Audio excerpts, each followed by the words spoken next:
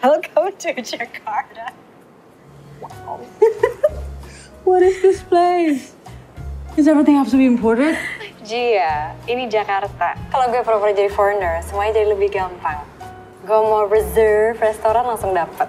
Gue mau masuk klub nggak perlu ngantri. Well, we are New Yorkers, Nai. We're New Yorkers.